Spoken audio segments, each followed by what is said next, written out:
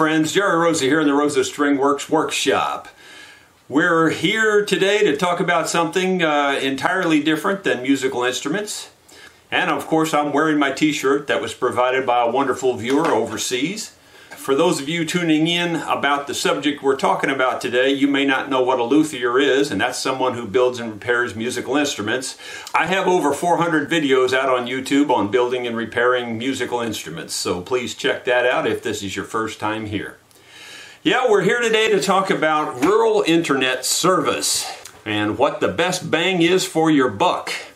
I've been through a bunch of them and I thought I would talk about my evolution through the different services so that you don't make those same mistakes and can go right to the best one, or at least the best one that I've ever found. Some people say we're not in the boonies, but you can see it from here. Well, I think we actually are in the boonies where we are. Our uh, nearest neighbor is about a mile away as the crow flies, so that'll give you some idea. And we're down in a really deep valley, so, you know, it's a couple of hundred feet uh, up to the tops of the hills around here. So, you know, you'd have to have a very tall antenna to do you any good. All right, so with all that said, how can you get internet service in a place like this? The first logical option would be satellite internet service. Now, that's a good option for some people, but for me personally, who needs to use a lot of upload speed because I'm uploading videos, that's a really bad option. Their upload speed is terrible. At least it used to be less than one megabyte per second. So that's really slow. I mean, if you're at 500K per second going up, uh, it takes you forever to upload a video. So satellite service, and I tried several of them. I didn't try Hughes, I don't think, uh, but I did try several different inter uh, satellite internet services, and none of them were any good. Then we were notified that extended DSL service, which is through your phone line, uh, works out in this area. So I I was literally first in line. I mean, I the moment I heard about it, I somebody called me, I think, and I actually drove to the phone company and said I want this now, you know. And the reason I did that was because I also heard it was going to be very limited on the number of people that could have it. So I wanted to be first in line, and sure enough, I was. so I was able to get that. And the problem with that was, for me, we are really far out in the boonies, as I said, and the phone lines deteriorate really badly out here. We have a ton of static on the phone lines, and they worked and they worked and they worked to try to clear that static. You know, you got watered down DSL is what you've really got on a staticky line. Yes, it was definitely better than satellite, even in that way, but it still wasn't very good and it still took hours and hours of upload time to upload videos. Well, then my next evolution was I heard about Wave Internet Service. Now, Wave is a local company, I think. I don't think they're everywhere, but it's basically a radio uh, frequency uh, antenna service, and I already told you we can't get an antenna. Well, in this case, I went to super extremes. I bought a tower and I, I spent about a thousand bucks on all the stuff just to get it for the internet service. And I put up a 65 foot tall tower up on top of one of my hills. And they, from Rolla, Missouri, which is about, oh, as the crow flies, about 12 or 15 miles, something like that, uh, they beamed the, the radio signal to my tower. And then my tower beams it down to a signal down here in my valley. That actually worked pretty good, but kind of expensive, right about $100 a month. And it was only maybe two or three times as good as the as the watered down DSL.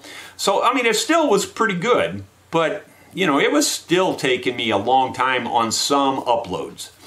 On some uploads, it would still take me several hours. This is the one you've been waiting for. I did some more research and I found out about cell tower internet service. That may be obvious to a lot of you, but it wasn't too obvious to me. First of all, we don't have very good cell service here at the farm because of the deep valley that we're in. In certain places you get on the farm, you've got pretty decent cell service, but in our house, no good at all. Even here in the shop, no good at all. So you think, well, then how could that help you? Well, I thought I put up a big tower up there on the hill for uh, the wave internet service So why couldn't I do something like that down here to improve my cellular service? And so that's basically what I did. The cellular internet provider that I went with was 4G internet service. So you can look them up. Um, there are other providers out there. Let me tell you a little bit about their uh, service and then we'll go out and take a look at actually how I set this all up. I'm no expert on their particular business or anything, but they, uh, you know, act as kind of like a middleman between the cell companies and the end user. And they provide you a cellular modem that will take the signal from the cell tower and convert it through your router or whatever. Actually, their modem is a router as well.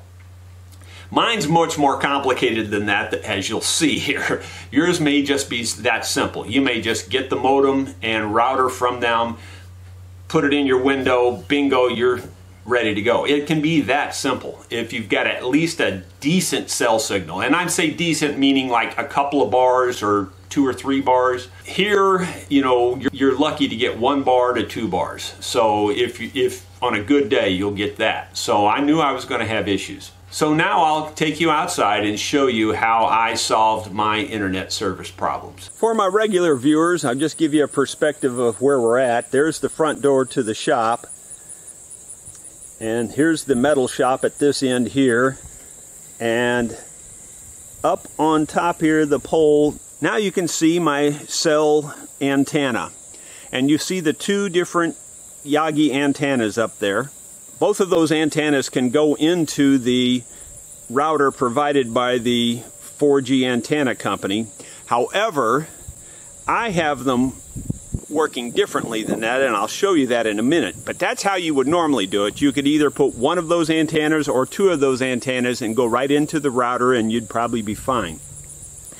I have it up there very high, as you can see, so that it gets the best cell reception. In other words, if your cell phone was up there, you'd get a halfway decent signal. Not a great signal, but a halfway decent signal. Now, I'll show you why I put this in the place where it's at and, and here in just a minute, but just behind those flowers, there's a window. I have two routers in that window. One of them is the cell company router, and the other one is a big router that sends the signal from here all the way up to my house up there. Now the reason I don't have all this up there at the house is because the house is in a deep valley. There's it's it's in a side valley that goes this way. And the signal up there is even worse. Now we'll go inside here and I'll show you how all that stuff is configured inside. Okay, this is bad photography because of the backlighting, but I wanted to come over here and point out what's going on. This uh, router here in the modem comes from the 4G antenna service company, and for the most part, this is all you really need. And it, I could get by with this to some degree, but I need more than that to get the signal up to my house. Normally, you would have two little antennas like this sitting on here, so there'd be another antenna right here, and you just put this in your window or wherever you get the best cell signal and then that's what you're done. You know, you're pretty much finished. You, you, just plug it in and, and it's good to go. It's a very simple service to use as these services go. I know because I've used a lot of them. So this one's an easy one to use. Okay, so mine worked sort of that way, but and I could then beam the signal to this router and go, but I needed to improve my cell reception from the cell tower. So what I did was, here's the two wires coming from those two Yagi antennas. I ran one of them into one side of this, so that helps a lot. Then I also had to have a regular, you know, air antenna, if you will, right here. And, and then I have another little signal booster right here. So the other Yagi antenna goes into this signal booster. And then this, you know, sends out the cell signal again, which is picked up by this antenna. Once I configured it like this, everything changed. I mean, I really started getting good service, good cell reception, everything. So bottom line is I have a cell booster here. This one's called a zBoost. And I don't even know if they make this one. This is an older one. I, I think it's called weBoost now, maybe. I don't really know. But anyway, you can buy cell uh, signal improvers you know, on the internet. Then I have a cable going from this router up to my big router up here. Now the big router sends the signal in a lot of places and it's much more powerful even than this router. And I, I bought a, you know, one of the cat's meow type routers here. This is a high-end one. Cost a lot of money, but it sends the signal up to the house where I have yet another router and that router sends the signal throughout the house. And believe it or not, I actually have another router beyond that because the house is so big. You know, I actually have four routers. So you got this one, this one, and two up at the house to get my internet service working here on the farm. The speed is actually pretty good. Hopefully that makes sense to you on how this all works. Now we'll go in and actually do a speed test. Okay, so let's do a speed test to see how quick this internet service is. You know, it's not like a cable internet service that gets 100 megabits or anything like that, but it's pretty darn good for out in the country.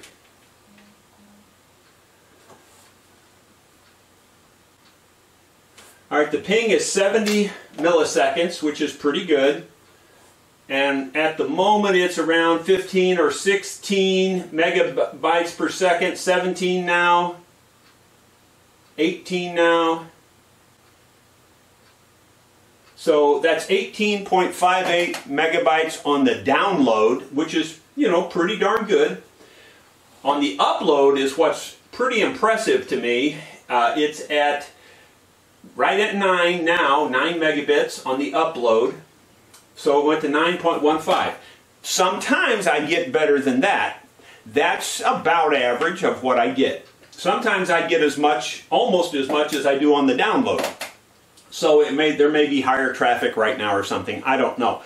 But at the moment, I mean, even that's really, really good compared to satellite. Satellite wouldn't even be a tenth of that. It's at least 10 times faster than satellite on the upload. At least 10 times faster. And probably more like 20 times faster in reality. So that's a huge difference. So then what does this service cost me? Well, I, they don't give it away, but $85 a month, which to me is reasonable to get pretty darn good service. Yeah, I know that's quite a bit of money for some people, but uh, it's it's reasonable for me because of my business, for one thing. So I have to do a lot of communicating on the internet, and that really helps, you know, to have a good internet service that you can depend on. And that is another point. It's very dependable. In the two or three years now, I guess I've had it at least two years, probably three years. And I don't recall it ever going down or anything or having any real problems. They're really good to work with, too, by the way.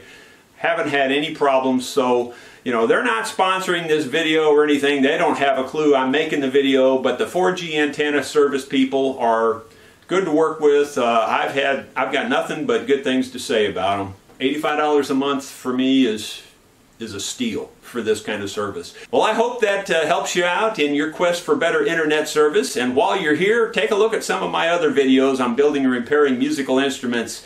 And if you don't mind, click that subscribe button. Thank you.